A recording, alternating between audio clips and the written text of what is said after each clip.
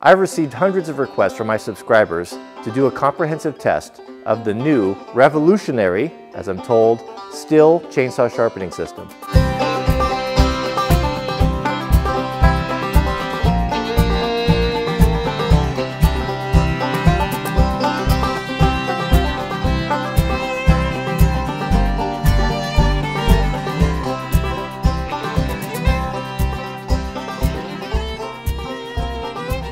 Ever since the first chainsaws came out on the market, I think man has been looking for a simple, effective way to sharpen saws without having to have tons and tons of experience. It's not an easy thing to do, and if it's not done right, it is, uh, well, the results are actually quite disappointing. I have worked for years and years to perfect uh, my ability to hand sharpen saws with, well, you know, the more I do it, the better I get. So I started hearing rumors about this thing oh, I don't know, maybe six months ago or so. And I looked at it online, maybe it was a year ago. I looked at it online and I thought, oh yeah, here we go.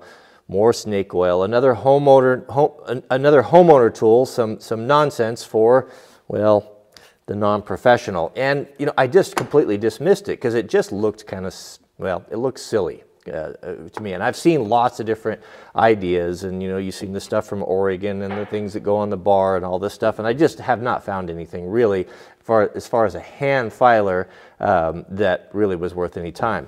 So I continued to get more and more requests for it, and so I went on Amazon and I ordered one, and here it is. And it, it is, it does look kind of ridiculous. So let's break it down. So what we have here, I think they're calling it a two-in-one. And what it claims to be able to do is it claims to be able to file not only the teeth, but the depth gauges. Some people mis misnomer, roll, mis misappropriate the name uh, rakers. They're not rakers, they're depth gauges. And from what I see here, this file in the middle, which is obviously proprietary, I've never seen a file like that before, a flat file, uh, is intended for the rakers. Here we have the third file, for, of course, the other side. So if we could flip the tool, uh, then we can file both sides. So that is basically it. The saw I'll be filing today is uh, my new 461 with the 32 inch bar. So that is a factory Stihl chain uh, that has yet, I've not sharpened it yet, but I've ran it a fair amount and it is time to be sharpened. So let's jump into it and see what happens. So let's talk briefly about what we're trying to accomplish right here. Okay, there's, we got a couple elements to the, the chain and the depth gauge, or some people call the rakers. If you look at this from the side, you'll see that this tooth is angled towards the rear. It's angled backwards. And the cutting point is this prominent, this, this point right there. Now, when a file, a chain is filed properly, this should be, I would call it sticky sharp. You know how a cat's claw is, how it just is so wickedly sharp? It should feel like that, that stickiness on your finger. I can feel that the, this the edge has been knocked off slightly from use and it's not doesn't have that sticky sharpness. Now when the chain is new, it's th this height and this height is perfectly set. They're matched. So this controls how far this cuts. If these are too short, the chain will, will take out too much wood and it'll bog the chainsaw down. It won't work properly.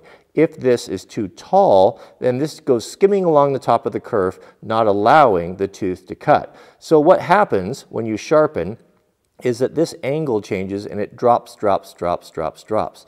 Now, if you don't address the height of this depth gauge, then your chain is not going to cut well at all. So those of us who have filed for a long time know that you can file this a couple times and then every three or four times you file, you need to take these down. And it's kind of an arduous process and, it, and you end up filing the chain twice and it just is kind of a drag. What this Stihl tool is claiming to do is to do these two things simultaneously. Now, if that's possible, I am all about that. I would love to be able to, I, I just dread this process because you know once you file the chain then you have to go back and you know all that stuff. So that's kind of what we're doing or that's what we're going to see. Now I've filed one by hand here just to demonstrate you'll be able to see here this is what it looks like when you take the depth gauge down. Now I have ran the hand file across here forked I made four strokes on there and if I feel that that is cat's claw. Sticky sharp and you can see there that I have also taken down that raker. You can see how it's got that shiny flat spot on it right there. Now that's at the proper depth versus this one here that is unfiled. We can see Now that is, comes up to the point, that's the factory edge. So let's see what we can do here. Did I mention I was skeptical about this? Well, let's see here. Okay, so, so right off the bat, so here's the idea. So do you see that shape right there? What Stihl is telling us is that that is the optimal angle to file this chain. But if I contrast that with what's actually the angle on the factory chain, if you look on there, you can see this has not been filed. This is a factory Stihl chain with a little laser mark on there delineating the angle that that is not even close. I don't know where the conflict is right there. I mean, that right there, I don't know what that is, but that is steep. I've never filed, I've never filed chains that steep before. I always go something like this. And I don't know what is up with that, but that's not very promising. Um, but no matter, it doesn't really matter. I'm not going to really pay attention to that anyway, so I don't really care. So I'll just kind of hold the angle that I, that I would, you know, following the factory angle and see and I'll do four, four passes here. Sorry, I'm a little bit jerky. I'm in a bad angle because of the camera tripod. Okay, so what do we have here? So that was four angles. So indeed, it has taken down, that's kind of cool actually. That flat file right there has taken down the raker and this metal guide right here has rested on the drive links and that way you really can't go wrong. Is that how that works? How does it, how does it, how does it go down? Oh, it's also, oh, I see. So this, so this gauge, this right there, that, that uh, piece, that steel bar is riding on the top of the link. as it follows it down, that would, will drop and compensate for the, oh, that's really clever actually. So Ooh, that is really sharp. You might be onto something here. Let me see here. Let's try a couple more here. I'm a little bit, a little strange at the angle why that's that way. I wonder if uh, the big pro saws run at a different angle than the, than the smaller saws. Anyway, well, let's see here. You want to keep, keep track, do the same every time if you can. There we see we have that, uh, that, has that has certainly brought that depth gauge down. Let's try a couple more of those there.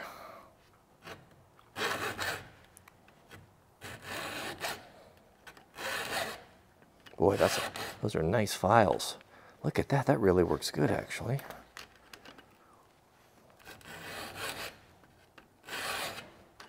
Boy, those are really nice files. So let's try this at the other angle here. kind of getting the hang of it. It just takes a little bit of getting used to. It's actually really good because I can see the laser mark right between the guide. It's for, it can be really accurate this way. Those are good files. Now on the backstroke, I'm not filing. I'm just taking the pressure off and moving it forward a little bit.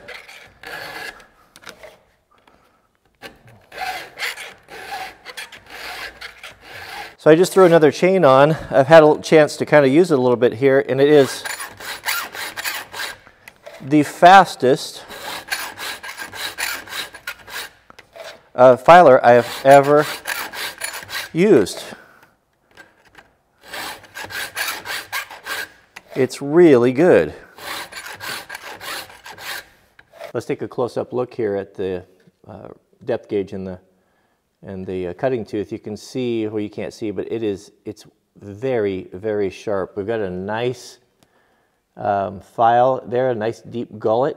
Um, not too deep, not too shallow. Something that's really hard to do by hand. You end up pushing too hard and, and getting cutting down in here in the drive link or up too high and you don't have the right gullet. It takes all of that guesswork out. Uh, we've got, at the same time, not only do we have a nice filed tooth there, but we've got our raker, our depth gauge that's been set at the proper depth. I mean, it's just, it's brilliant.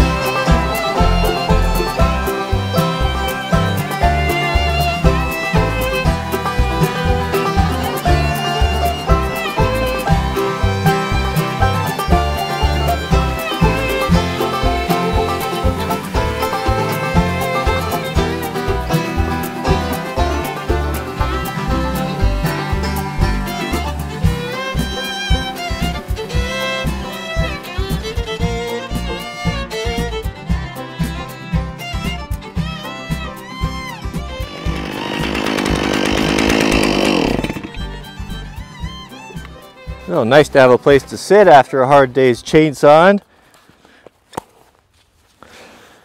So what's my conclusion? Or what do I conclude here? Um, this thing's awesome. This is going to be uh, this is going to be my uh, my go-to gift uh, for friends and family for Christmas and birthdays because I mean, it's I was I was wrong. I thought it was going to be I thought it was going to be kind of a homeowner silly homeowner deal, uh, but it's not. It's excellent. Uh, look at the. You saw how how well it cut. I did cross cut. It just ripped. Um, rip cutting. Uh, it ripped there too. Uh, plunge cut went really good. Really aggressive. The the what I used to do uh, when I hand file, if I have a saw that's really powerful um, is that I would actually file the depth gauges a little bit lower than they were supposed to. I'd use a depth gauge and, uh, and knock them all down and I'd go around one more time and just hit them, give them a good one hit each one. And what that did is it gave me control over the uh, how fast the saw cut. Um, I, I, could, you know, when you do that, you gotta be careful because you can bog a saw down, but if you have the feel for it and you, the finesse, you can um, you can just get a little bit more out of it.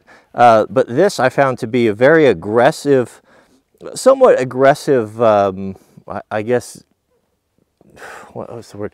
Variation between the top of the raker, the depth gauge and the top of the tooth.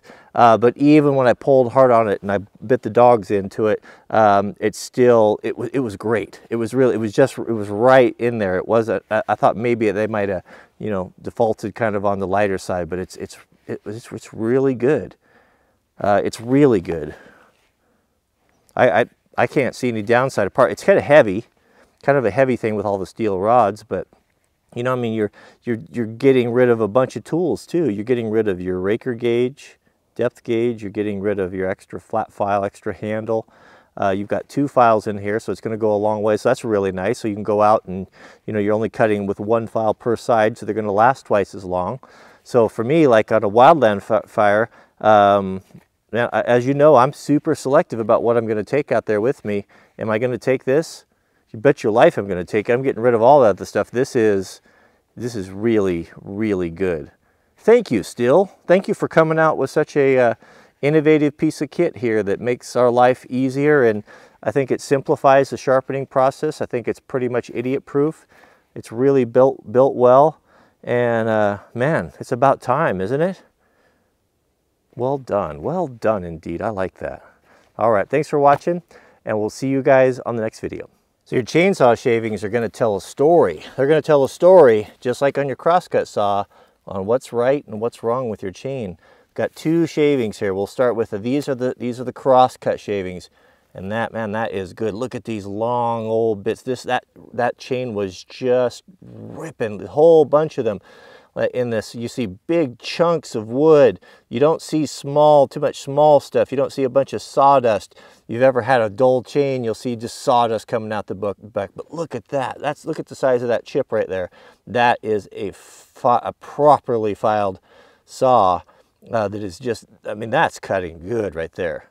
Uh, I like that. I, I, think that the depth gauges, or the, the yeah the depth gauge setting on that tool is deeper than the factory chains. I don't remember seeing big torn out chunks like that, and yet it didn't bog the saw down as you saw right there. That's that's the best of both worlds right there. I like to see that. Here we have on the other side, we've got our, this is a ripping cut. Now we're cutting with the grain instead of across it. And we, what we see here are these long noodles here. Look at the length of those things. It's just, tearing out massive pieces of wood, big old globs of it. But just look at that right there. That's that makes some nice Easter egg basket stuff. that is that is really really good. So you can analyze. We can analyze this and see that indeed the saw is really cutting. And this is this is uh, what type of wood is this? Is lodgepole pine right here. Man, well, that smells good, good, good, good. Dry, very, very dry, taken out of the desert, uh, standing dead after a wildland fire. But uh, man, I, I'm, I'm happy with that. That's beautiful.